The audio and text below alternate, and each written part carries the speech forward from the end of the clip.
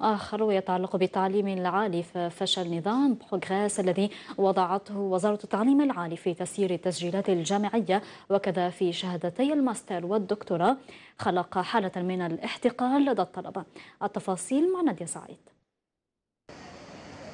رقمنة التسجيلات من خلال نظام Progres الذي وضعته وزارة التعليم العالي لم يساهم في تقليل مشاكل الوصاية وإنما عقدها. فضائح بالجملة نجمت عن هذا النظام في تسجيلات الطلبة الجدد وكذا الماستر والدكتوراه لتجسد في شكل احتجاجات خصوصا وأن قبول الطلبة تم بطريقة عشوائية.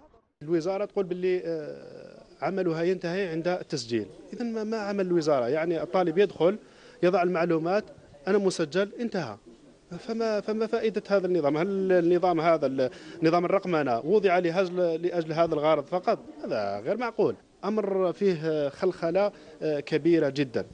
ولذلك حبذا لو كان مثلا استعمال هذا النظام البروغراس يكون بالتدرج على الأقل حتى لا نقع في مطبات مثل ما وقعنا فيه هذا العام. رغم مدح المسؤولين للنظام إلا أن الواقع عكس ذلك سيما وأن الوصاية تنصلت من مرحلة الطعون وتركتها في مرمى الجامعات. نحن لسنا ضد العصرنة أو الرقمنة هذا أمر جميل وجيد لوزارة التعليم العالي ومختلف الجامعات لكن لابد من تكوين إطارات من أجل التحكم في هذا الموقع. لأنه مؤسف جدا ونحن مقبلون على عام 2019 وفي وزارة وزارة التعليم العالي والبحث العلمي ولا زلنا لسنا متمكنين في موقع فقط.